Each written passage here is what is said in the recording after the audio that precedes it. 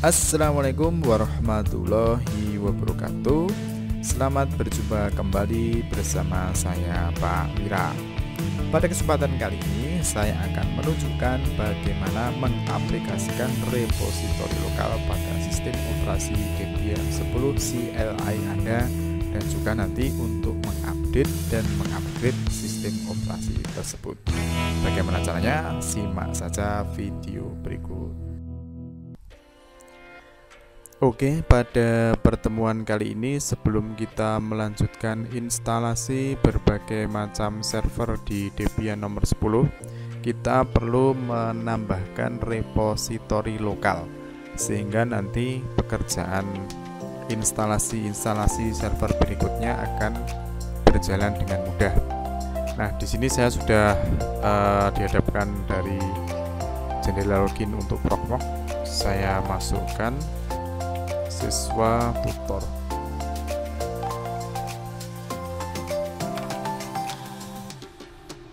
kemudian saya masukkan passwordnya. Baik. Oke di sini eh, siswa tutor. Baik. Ini saya pilih satu mesin kemudian saya hidupkan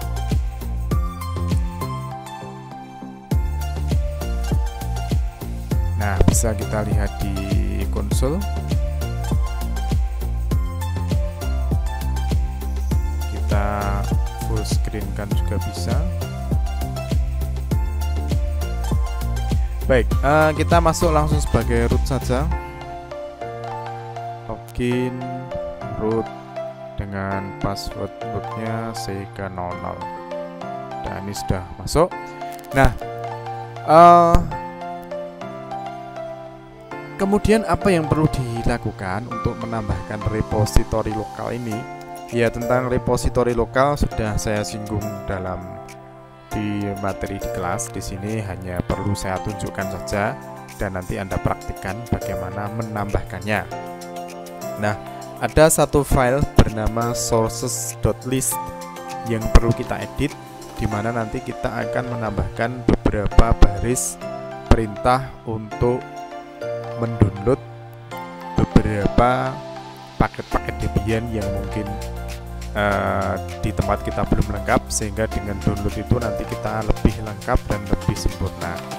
Baik, uh, kita langsung buka saja filenya yang bernama source list tersebut di mana di directory slash etc slash apt slash sources.list oke okay. kita tekan nano spasi slash etc slash apt slash sources dot list nah seperti ini. Nah ini merupakan file yang berisi daftar-daftar sumber software-software yang bisa dipakai Debian 10 Anda. Nah, beberapa nanti beberapa baris nanti perlu kita tambahkan yang pertama kali harus kita lakukan adalah yang ada di sini kita beri tanda pagar semuanya. Nah, tanda pagar ini fungsinya apa? Tanda pagar ini fungsinya untuk menonaktifkan baris yang ada setelah tanda pagar berikut. Jadi misalnya di sini ada dep, cd-rom dan sebagainya. Itu kalau tidak diberi tanda pagar, dia akan aktif. Dan kalau perintah-perintah nanti yang berhubungan dengan file ini, dia akan mengeksekusi baris ini. Tapi begitu kita beri tanda pagar, maka dia nggak aktif lagi. Ini akan dilewati, lalu akan diteruskan di bawahnya. Tetapi yang di bawah ini juga perlu kita nonaktifkan dengan memberikan tanda pagar. Tanda pagar seperti itu. Baik. Nah, lalu apa yang kita lakukan? Yang kita lakukan adalah menambahkan sumber software paket bagi Debian 10 ini yang lokasinya paling dekat dengan kita. Kalau kita di Indonesia ambilnya dari Indonesia, seperti itulah mudahnya. Baik, uh, di mana itu ya? Uh, di sini sudah saya list. Ini sudah pernah saya coba, yaitu di Surabaya ya, Kartolo Surabaya data utama.net.id kepunyaan uh, data utama.net id oke ini harus kita tuliskan di file yang ini source list ini. Caranya bagaimana ya? Caranya kita tuliskan. Nah biar bisa untuk nyontek seperti ini.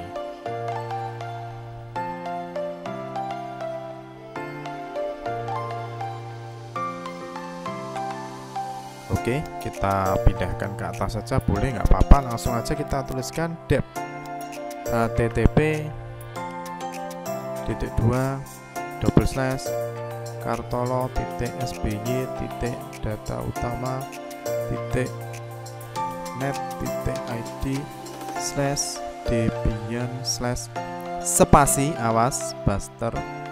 Spasi lagi main spasi lagi contrib spasi lagi non strip free tambahkan lagi dep http titik dua double slash kartolo titik data utama net id slash debian slash spasi buster strip updates spasi main spasi contrib spasi non free banyak lagi dep http titik dua double slash kartolo sby dot data utama dot net dot id slash debian strip.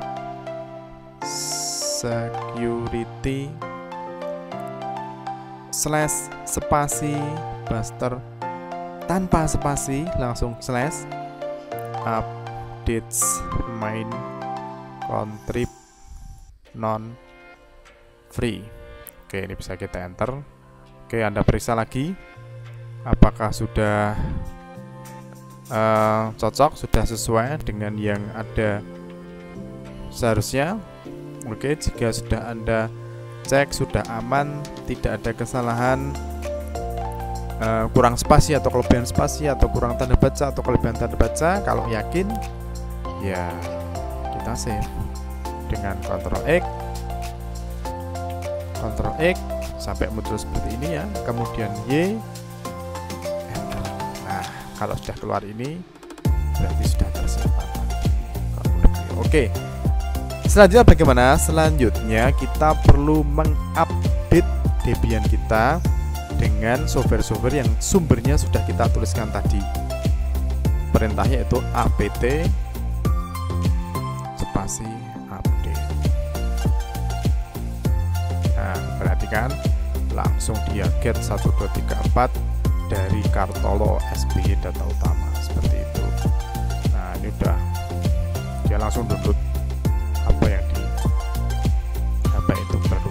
Baik, ini masih belum berakhir. Langkah selanjutnya itu mungkin ada beberapa paket-paket yang udah uh, apa ya usang, bukan kedaluarsa sih, tapi usang yang perlu kita upgrade. Nah, langsung saja sekalian kita apt upgrade, kemudian spasi strip y.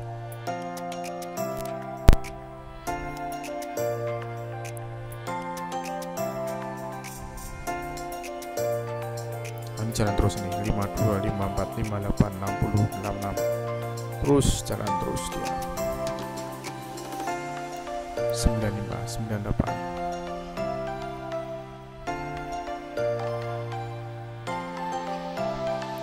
nah, progress ya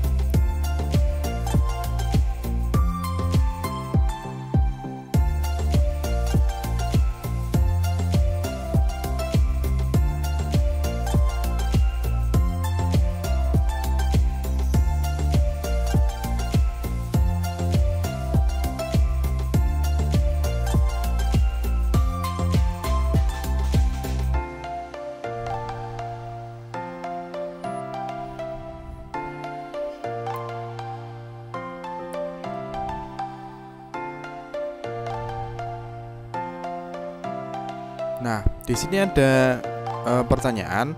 Kan kita kemarin udah konfigurasi Open SSH server ya.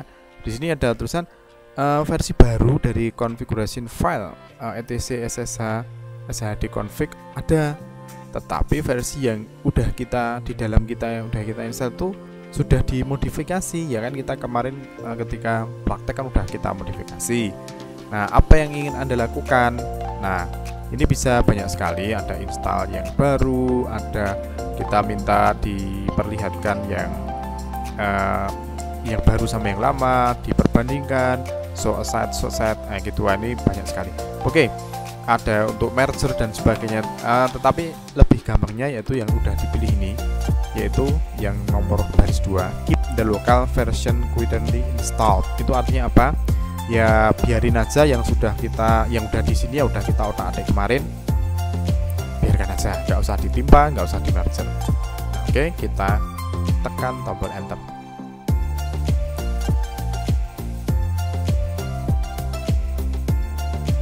Dia langsung melanjutkan 98%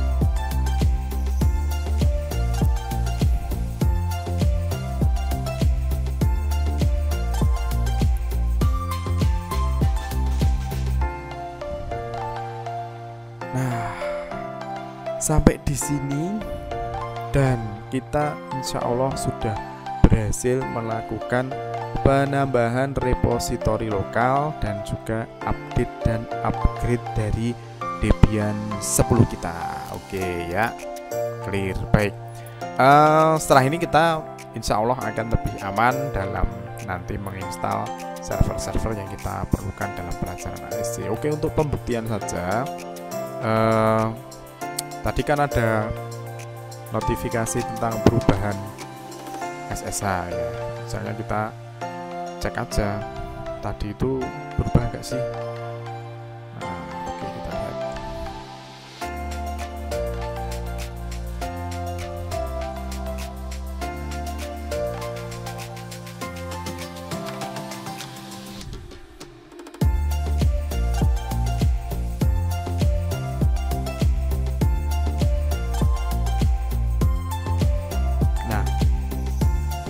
sini. Langsung log, uh, login as kita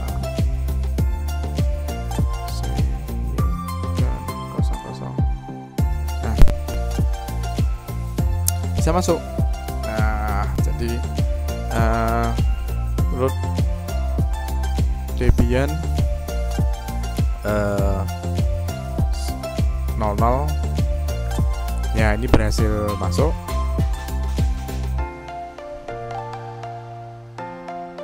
Jadi settingan SSH server yang kita kerjakan pada kemarin tidak ada perubahan apa pun sehingga kita masih bisa aman untuk masuk ke dalamnya. Oke, kita exit saja di sini.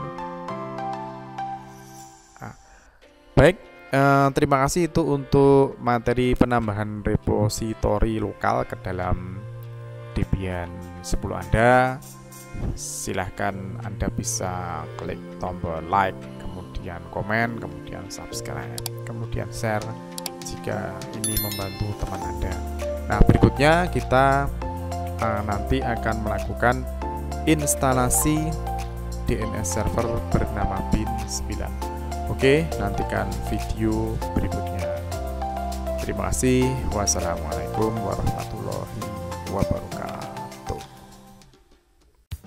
Kalian juga bisa menonton video-video saya yang lainnya sebagaimana tertera di layar.